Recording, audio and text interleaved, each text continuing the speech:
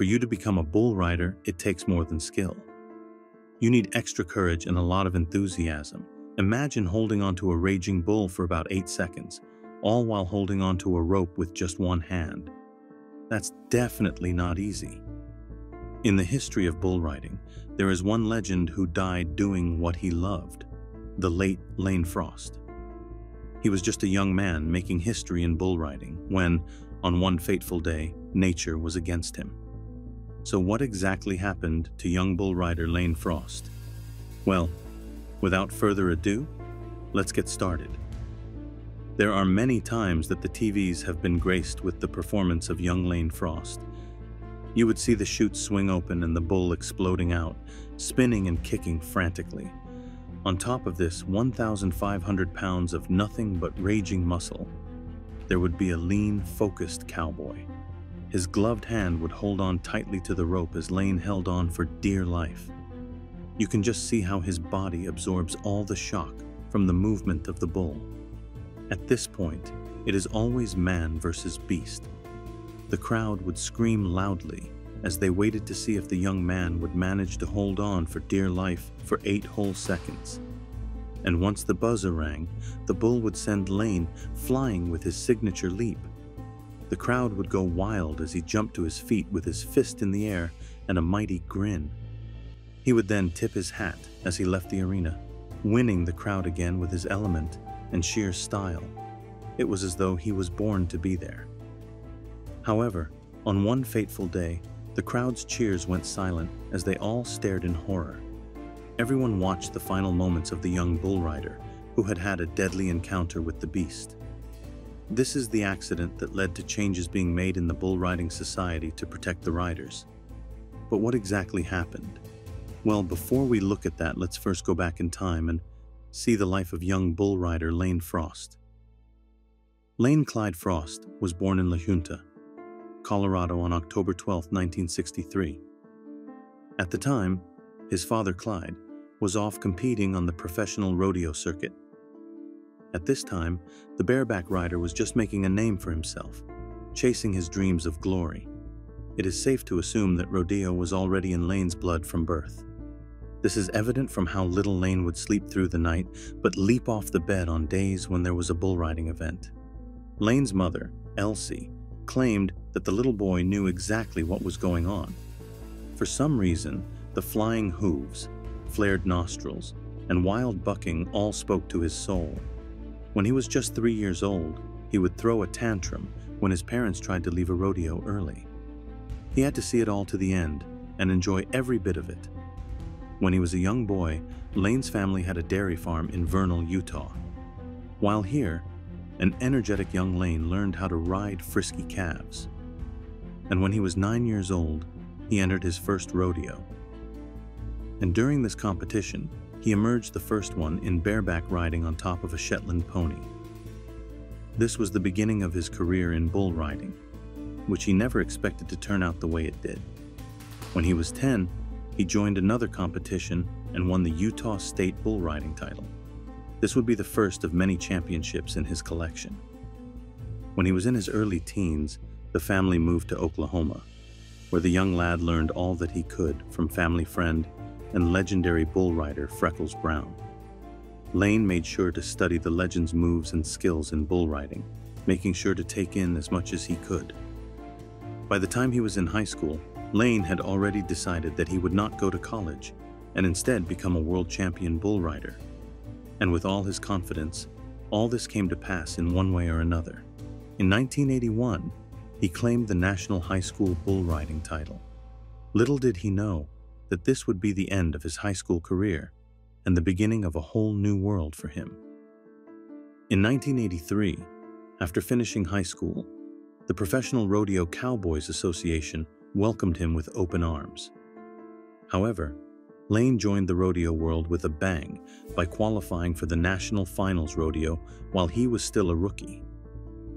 This is something that was never done before, and it has never happened again since. Clearly, he had immense talent and unlimited potential in all of this. In 1987, his dreams came true when he claimed the coveted PRCS World Champion Bull Rider title. He had already achieved his dream by the time he was 24 years old, which was very young. The whole sport was never the same after Lane's performances, as he brought about a whole new energy and style. He would win the crowds with his athleticism, showmanship, and million dollar smile. Kids always rushed to him any chance they got to get an autograph from the star. If it weren't for the fact that he died doing what he loved, he would have probably made history as the greatest bull rider in the history of bull riding. But what is bull riding all about?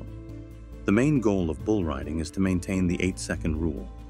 This is the standard time that the rider is supposed to stay on top of the bull for them to get a score. More specifically, the bull rider has to hold on to a bull rope while perched on the bull for a total of 8 seconds. The timer starts when the bull leaves the gate and shoots out. However, the rider has to have one hand free, and it shouldn't touch either the bull or themselves.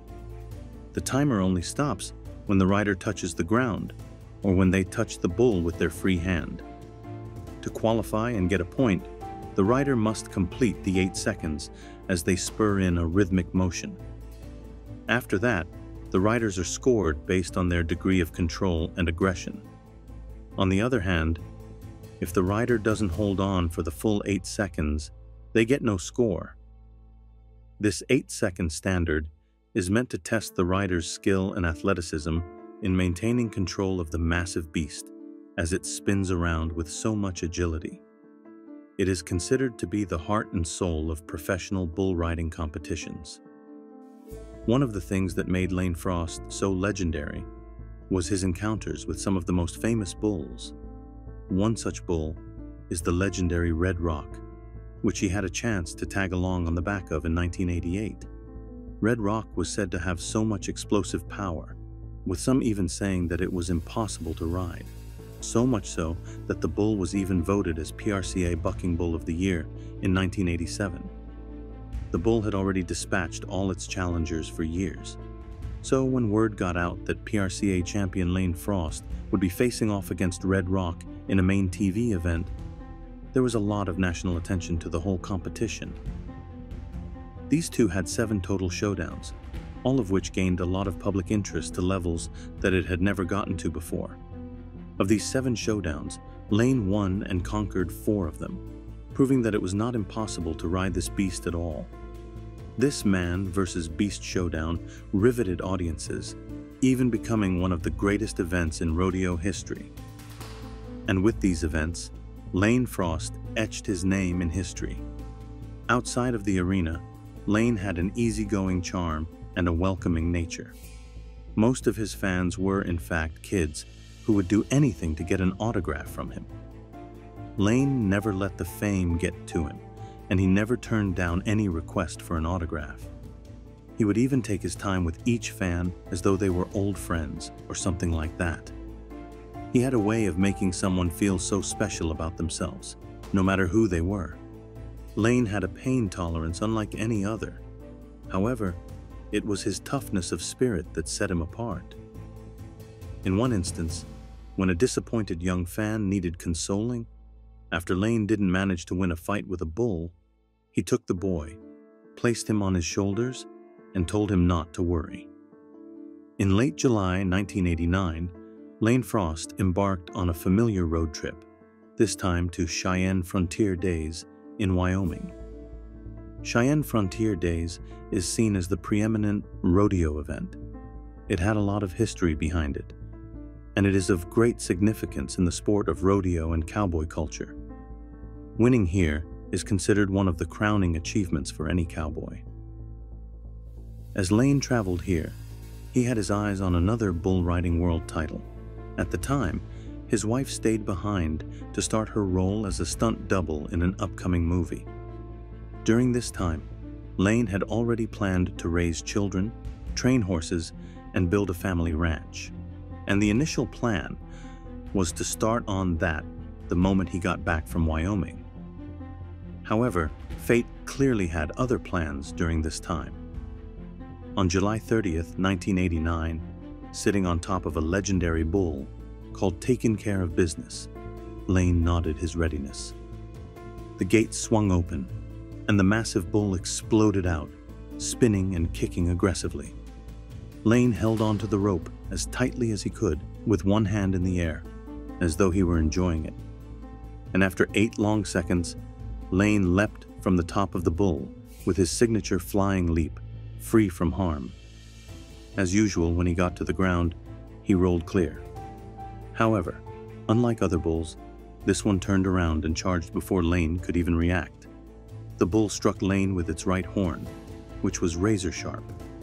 It pierced through his skin, fracturing several lower ribs, puncturing his lungs, and lacerating his aorta. Lane managed to get up and wave for help before eventually staggering and collapsing.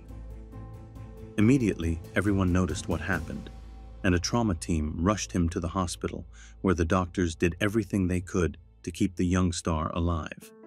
However, even with everything they tried, the damage was a bit too fatal. Eventually, Lane Frost was pronounced dead at the hospital.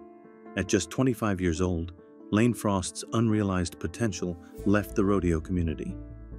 The bull had inflicted damage that even his toughness could not handle, but the fact that he was able to stand up after the blow just shows how strong he is. However, even though he was still too young, he left a legacy. He also had a persona that inspired lots of other cowboys. And those are the last minutes of legendary bull rider Lane Frost. Feel free to share your thoughts on this story in the comments below. And before you go, make sure you leave a like and subscribe to our channel for more intriguing stories like this one. Thanks for watching. See you in the next one.